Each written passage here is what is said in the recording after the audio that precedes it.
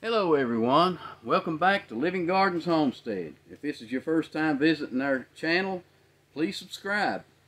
Uh, I wanted to talk to you today about uh, uh, what's going on. You know, we're in January now.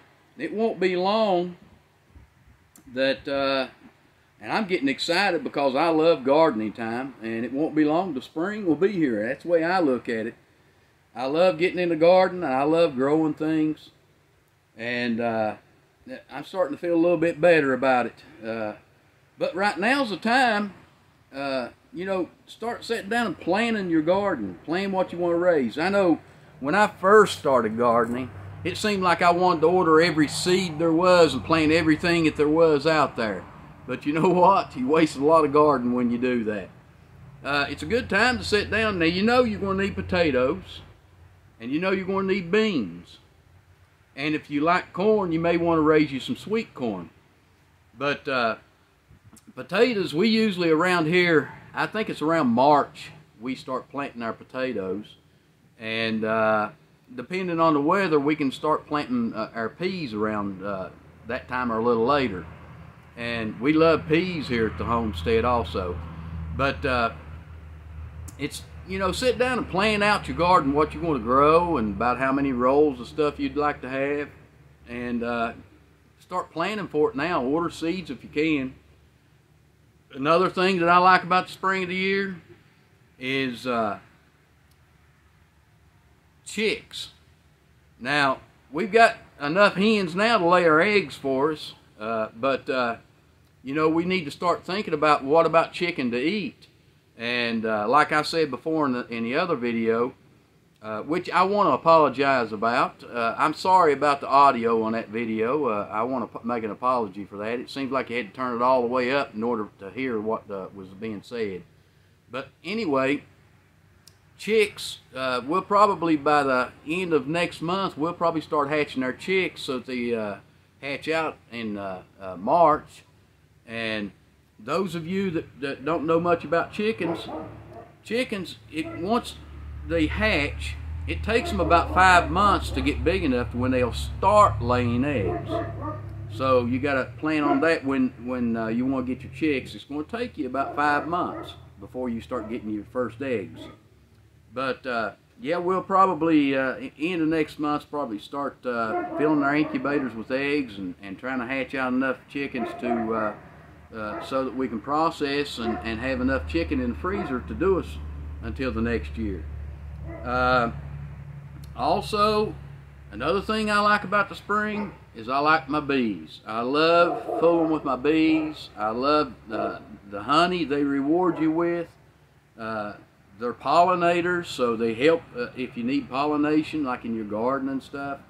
Uh, I'm just getting excited. I love springtime. I love when springtime comes around. Uh, but uh, I was wanting to bring you a little news that uh, we may possibly here on the homestead. Uh, I told you years ago we had goats and uh, we milked our goats to uh, to get our milk and our cheese and our butter. And believe it or not, goat's milk has a lot more nutrients in it than cow's milk does. Now you can have some people that can't drink cow's milk because it upsets their stomach. Uh, goat milk doesn't upset your stomach like cow's milk does. Uh, a lot of people, they, they fringe when they hear goat's milk. But yes, goat's milk is a lot better for you than cow's milk. And uh, now the, the goats we had before, we had uh, Nubians and we had uh, uh, Nigerian dwarf goats. And out of those two goats, I can't mention any others because I ain't had them, but out of those goats, I believe the, the Nigerian goats, the milk tasted almost identical to uh, cow's milk. And it was easy to digest. Uh, the reason I bring that up is we're hoping that the beginning of next month we may have got in touch with somebody. We've been looking for a while, trying to find some goats. But uh, I think we may have found someone that uh, first of the month we're going to go pick up uh, three uh, three adult does that's already in milk so that as soon as I get them here we can start milking. Uh, Lord knows we drink a lot of milk and we use butter on everything. Uh, but along with those three does, uh, one of them has a kid. And we're going to get the kid to go with her and, and let, let the kid stay on the mother. Uh, but uh, I'm excited about that. I'm excited about getting back into the goats. And these are Nigerian dwarf goats also. So I, I figure the milk will be just as good. But uh, that's another thing for you to think about. Uh, you know, those of you that don't realize it, this year is going to be a tough year because of what went on last year. Uh, I hate to bring it up so much, but you know we're liable to have a food shortage, or at least not be able to get the kinds of foods we want, or can't afford the foods that we want. Uh, I've decided to get out of uh, the beef uh, and as far as our, our uh, hog goes, she's about 400, 450 pounds at least. And uh, we're already calling, trying to find uh, someone to process her for us. And that'll probably be the last, last hog that we have. Simply because of the feed cost and everything going up. The goats don't cost a whole lot to feed, and the chickens, depends on how many you got, uh, they're not too bad to feed either. But uh, I thought I'd bring you this video because I'm, I'm feeling kind of pumped because springtime's just right around the corner and I can start all over again. Uh, I love doing it. And I'm sure there's a lot of my viewers out there that watch these, uh, this, these videos we put out that you love it too. And I'm telling you, I'm itching to get started back uh, growing again this spring. Uh, I'm, I'm already over winter. I just don't don't want no more. I want spring to come so I can enjoy uh, getting out in the garden and the hydroponics and all that. And for those of you that uh, don't know much about gardening, watch some of our videos, especially the hydroponics. If you live like uh, in an apartment or uh, in the city or someplace, you, you can make small containers and raise hydroponic. And uh, uh, especially stuff for salads, like your lettuces and stuff, they grow really fast and you can have your little crop to go right away.